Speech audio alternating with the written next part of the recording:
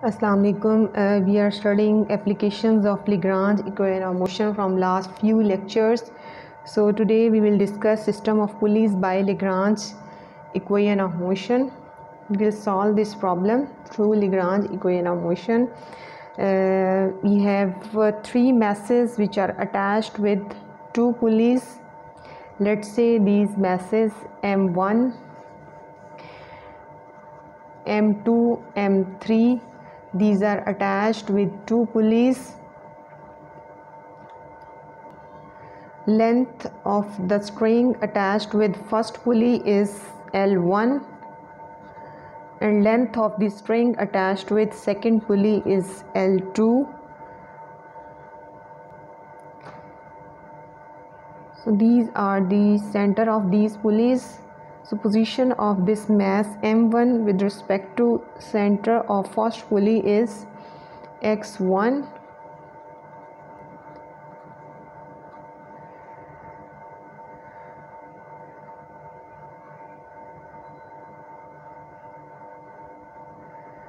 since L1 is the length of the string attached with the first pulley then position or distance between the centers of these two pulleys will be L1 minus X. L1 minus X. Similarly the position of mass M2 from the center of this second pulley. Center of this second pulley will be Y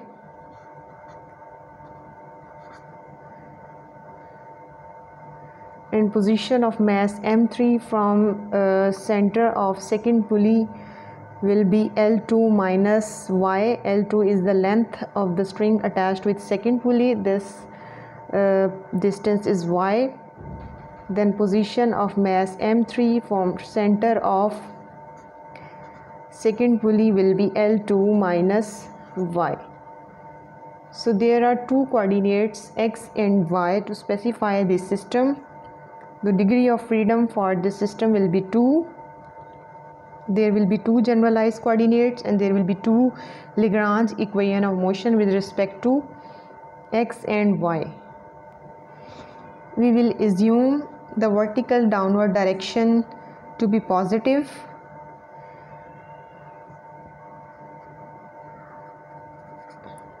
Weight acting downward it will be m1g and for M3 it will be M3G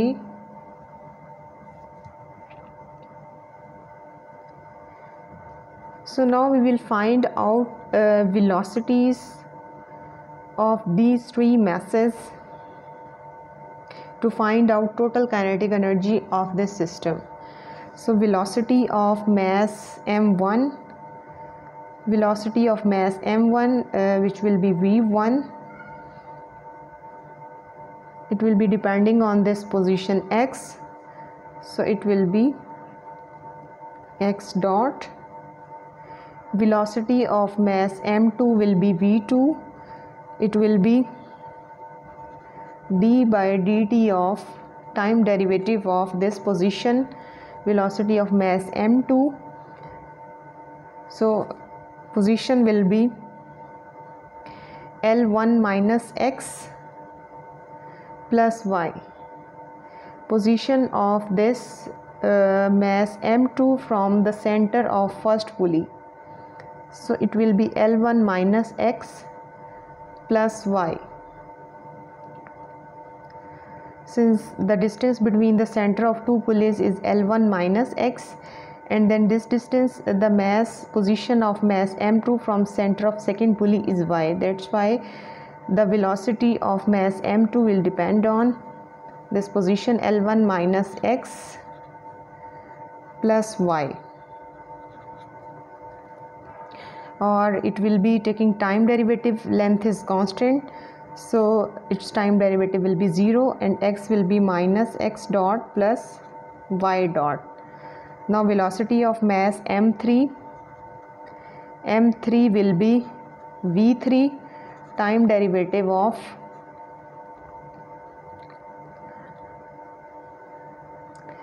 position of this mass m3 from center of first pulley. So this uh, center of first pulley is taken as reference to find out kinetic energy and potential energy of every mass so position of this mass with respect to this first pulley will be L1 minus X plus L2 minus Y.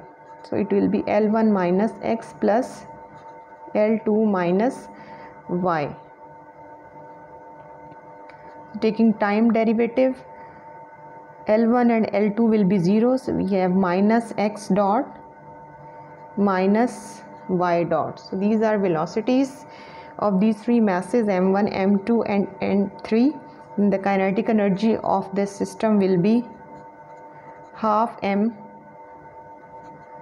v1 square plus a half m1 v1 square half m2 v2 square plus half m3 v3 square.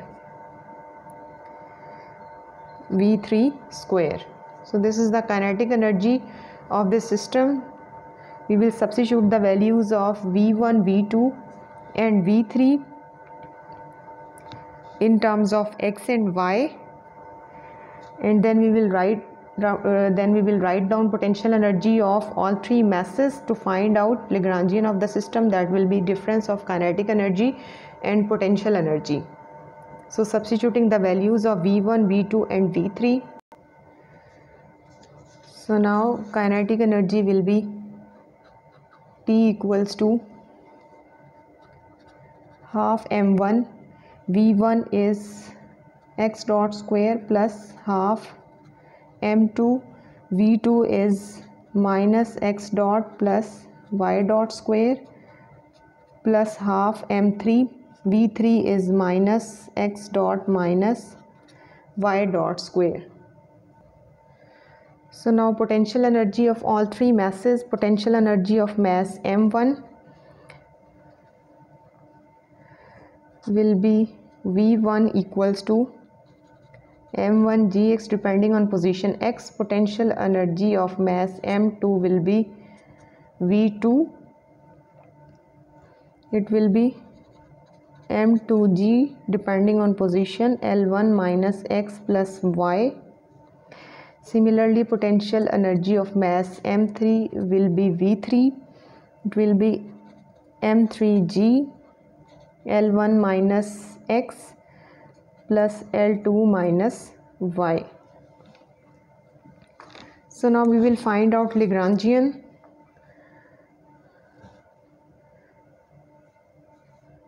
That will be L equal to T minus V. Total kinetic energy of this system and total potential energy. Total potential energy will be V equals to V1 plus V2 plus V3 so Lagrangian of this system will be P minus V half M1 x dot square plus half M2 minus x dot plus y dot square plus half m3 minus x dot minus y dot square minus potential energy uh, minus m1gx minus m2g l1 minus x plus y minus m3g L1 minus x plus L2 minus y. So this is the Lagrangian of the system.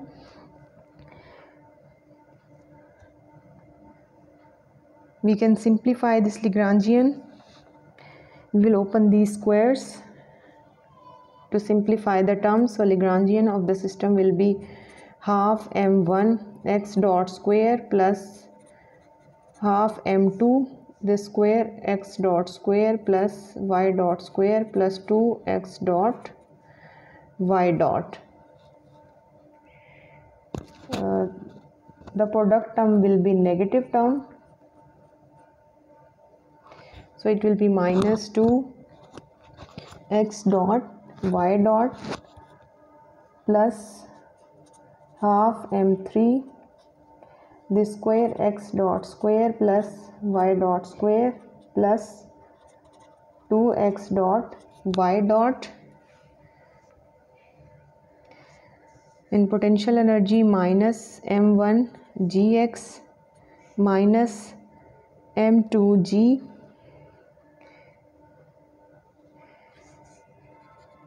m2g l1 minus x plus y minus m3g l1 minus x plus l2 minus y.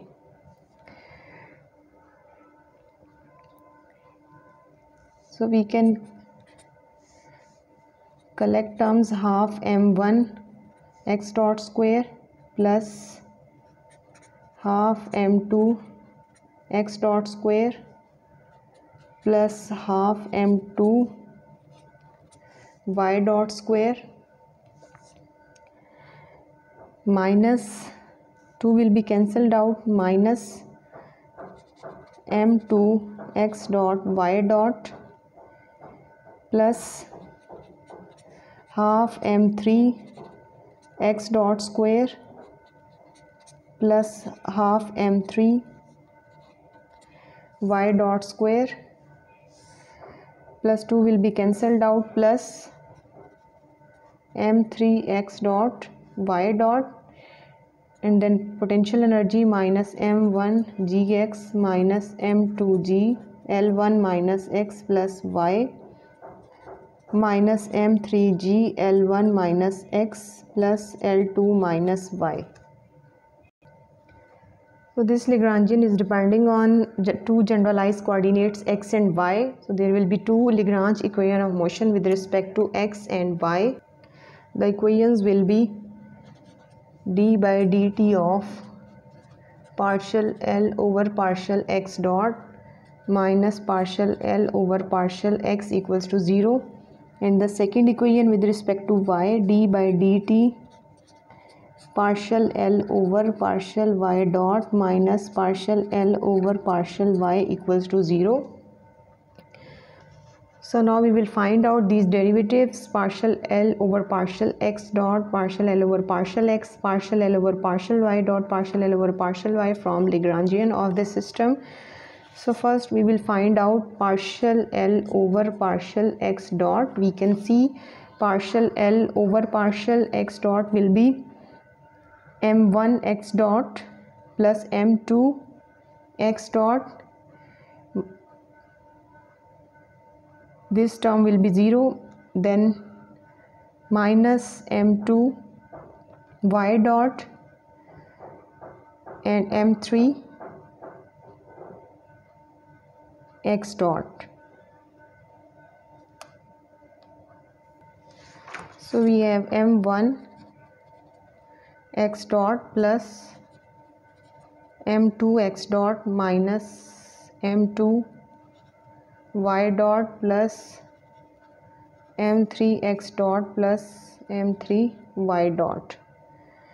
And partial L over partial x will be from Lagrangian we can see partial L over partial x. First term will be 0 this will also be 0 the dependence of x is in potential energy terms. So it will be minus m1g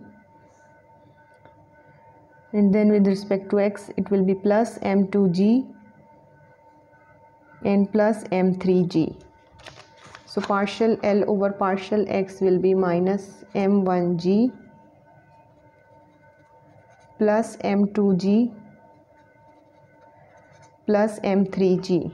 So substituting values in first equation we will have d by dt partial L over partial x dot it will be m1 x dot plus m2 x dot minus m2 y dot plus m3 x dot plus m3 y dot minus partial L over partial x it will be m1g minus m2g minus m3g equals to 0 so we will take time derivative of this first term. It will be m1 x double dot plus m2 x double dot minus m2 y dot uh, this term will be 0 so uh, with respect to time so it will be minus m2 y double dot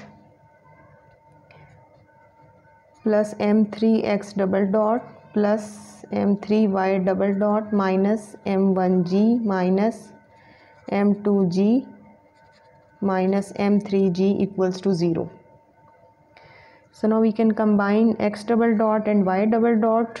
X double dot terms are m1 plus m2 plus m3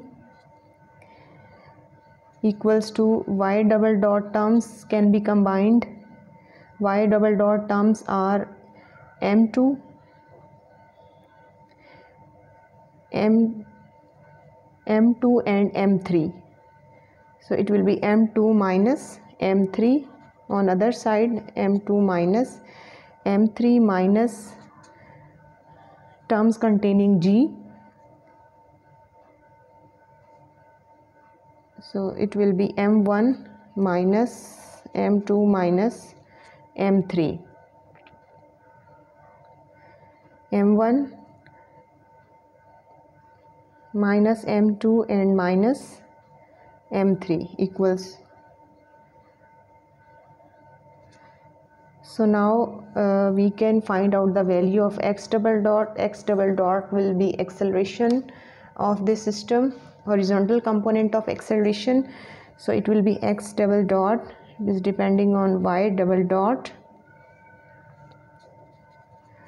M2 minus m3 over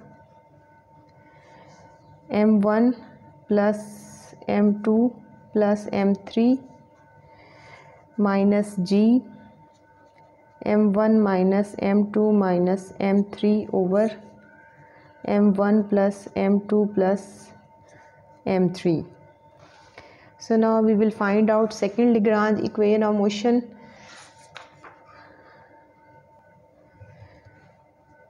So m1g is with positive sign partial L over partial x is minus m1g and we also have negative sign with this partial L over partial x. So it is plus m1g on other side then after taking g common it will be m1 minus m2 minus m3 so now we will find out the second equation of motion with respect to y. We will find out derivatives partial L over partial y dot and partial L over partial y. So to take partial L over partial y dot uh, the y dot depending terms are this third term. So its derivative will be m2 y dot and then this term minus m2 x dot this will be 0 and then m3 y dot. All other terms will be 0 so we have partial L over partial y dot will be m2 y dot uh, sorry the first term will be m2 y dot and then minus m2 x dot minus m2 x dot plus m3 y dot plus m3 x dot. m3 y dot and then m3 x dot. Similarly partial l over partial y will be in potential energy terms partial l over partial y so this term will give us minus m2 g and this term will give us uh, the y term minus m3g it minus minus will be plus so it will be plus m3g so we have minus m2g plus m3g so now the second equation will be d by dt partial l over partial y dot is m2 y dot minus m2 x dot plus m3 y dot plus m3 x dot minus partial l over partial x. So first term will be positive. M2g minus m3g equals to 0 so taking time derivative of first term it will be my2 m2 y double dot minus m2 x double dot plus m3 y double dot plus m3 x double dot plus m2g minus m3g equals to 0 so we can collect terms of x double dot and y double dot. So x double dot containing terms are y double dot uh, m2 and then m3 m2 plus m3 and for x double dot we have minus x double dot m2 minus m3 and then g containing terms. In these two terms m2 minus m3 equals to 0 so we can separate y double dot. Y double dot is the acceleration y component of acceleration so we will have y double dot m2 plus m3 equals to m2 minus m3 x double dot minus g m2 minus m3 so dividing over this factor we will get y double dot m2 minus m3 over m2 plus m3 x double dot minus m2 minus m3 over m2 plus m3g. So this is the y component of acceleration for this system of pulleys. Three masses were attached with two pulleys.